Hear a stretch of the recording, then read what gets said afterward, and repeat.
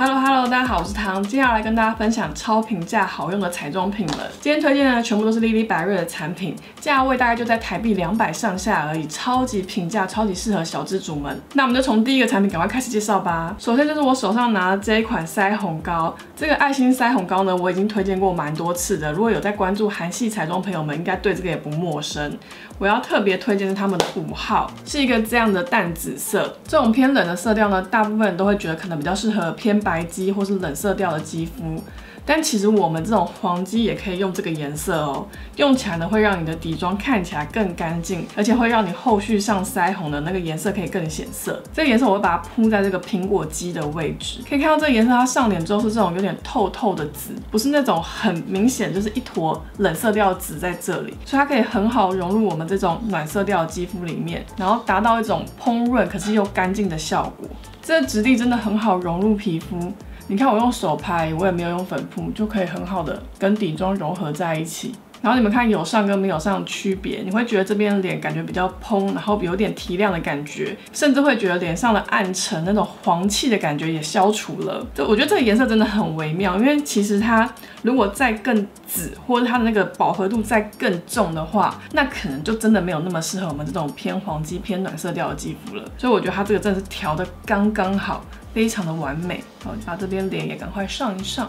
它这个系列呢，其实推出了蛮多颜色，然后有像这种偏橘、偏红，这应该算橘红吧，这种色系。它这种颜色呢，擦起来就是比较有元气感，然后比较适合夏天，然后也是很适合我们这种黄肌用的。然后又有这种粉色调的。这个就蛮适合冷色调皮肤的，因为它是这种芭比的浅粉色，这种就真的是白肌擦起来就会很漂亮。除了这个五号色之外呢，这个一号色也想推荐给大家，这个颜色也是我比较常用的。我稍微叠加点在这个颧骨这个位置好了，有没有这颜色上上来就会有一种夏日阳光感？然后我觉得它跟那种一般的橘色腮红比起来的话呢，它也是。比较没有这么的橘红，它都有带了一点那种，这叫偏白色调在里面吗？所以它就会很好融入肌肤。一样是用手拍一拍，就跟底妆融合的很好，然后跟刚才前面这个紫色调的五号也融合的很好，会有个很漂亮的腮红渐层感。而且这样拍的过程也不会把底妆粘走，这个质地真的做的蛮赞的，蛮美的，蛮美的。再来想推荐的一样也是腮红，但是是他们家的雾面腮红。这个系列的质地呢，就是这种粉状的，然后它的粉质呢很细致。拿来当腮红呢，很好晕染。然后除了可以当腮红以外，它还可以拿来定妆眼下，因为它的粉质够细致，拿来定妆眼下呢有二次提亮的效果，而且也不会卡纹。我推荐定妆眼下就用这两个色号，一个是偏冷色调的一号色，然后一个就是偏暖色调的二号色。那我自己是偏暖色调的肌肤的话，我就会用这个二号色，而且因为它带有点这种橘色。调，非常非常浅的这种浅橘色，还可以顺便把我的黑眼圈再一次的修饰。记得要把一些遮瑕膏如果有基线的地方推开来之后再定妆，上眼皮的基线也是记得推开，然后再定妆。有没有这个定妆效果？是不是很赞？有没有立刻觉得这边脸颊又更干净了？这个眼下黑眼圈看起来更隐形了。然后同样这个颜色，因为它对我的肤色来讲就是有提亮效果的，所以不只是眼下这边，像嘴角暗沉这边呢，也可以用这种来定定。就它不只是腮红，它其实有很多功能。像我这边脸颊有个奇怪凹陷的暗沉，也可以用这个先这样按压，有没有？它就立刻被提亮了。这边脸颊的线条是不是看起来更加的平顺了？因为我把凹陷处提亮了，所以基本上就是你的脸哪里有暗沉，哪里有凹陷，你想提亮，都可以在这个步骤用这个腮红来提亮。我现在使用这些部位呢，基本上就是不太会出油的位置，所以我就是在这边就是用腮红定妆提亮，就是二合一的效果。我等下用蜜粉定妆的时候就不需要再定这些位置。使用完妆效给大家看一下。是不是会觉得今天底妆真的特别特别的干净，很蓬润，然后很干净的感觉？他们家这个腮红真的很好用，平价又好用，非常非常推荐。然后颜色选择又很多，它除了有这种蓬润效果的浅色以外呢，也有这种我觉得是偏氛围感的颜色。这种比较深的颜色，选择很多样，然后造型又可爱，粉质又很好，使用起来的效果也好，当然是推荐呐。好，接下来就把我脸其他需要定妆部分定妆完，然后把修容完成再回来。再来想推荐的他们家相对比较冷门一点的产品，但我觉得很好用，就是江江这个染眉膏，它的刷头超级细的，然后颜色出的很漂亮。我之前一开始用的是这个五号色，它就是这种偏冷色调的浅棕色，这种这种颜色比较少品牌在出，很适合喜欢把眉毛弄浅，然后想要妆容柔和一点的朋友可以去试试看。然后因为我头发染成这种偏暖色调颜色，所以我现在会用这个二号色，它就是偏暖，比较是这种暖咖色，但是也是偏浅的，大概是这种感觉。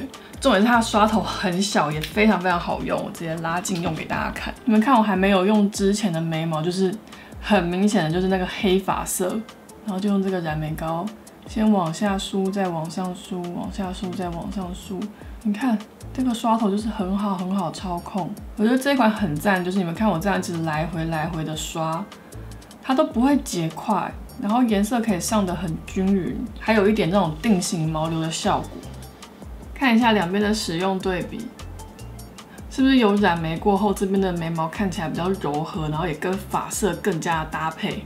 染眉这一步骤，我真的是很推荐大家可以试试看，尤其是那种你觉得你的妆容已经，不管是眼影啊、腮红、唇彩都已经尽量搭配很和谐，为什么妆容看起来还是会有点怪怪的？不知道为什么眉毛看起来就很突兀的朋友，使用染眉膏可以把蜡笔小新的眉毛也弄到很柔和。完成。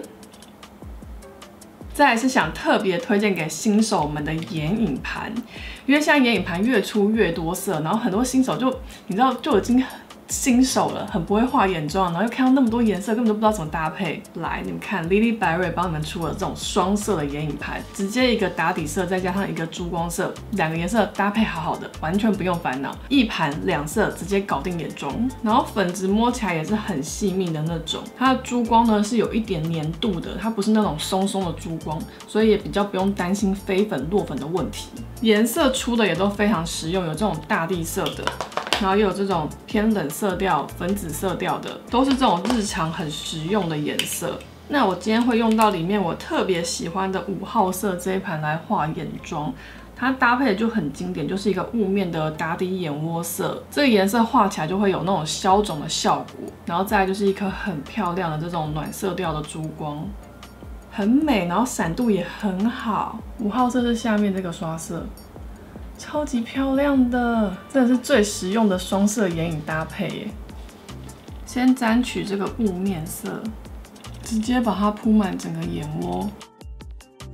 建议新手在上色的时候，就是先从靠近睫毛根部这边开始上色，然后再慢慢的往外晕。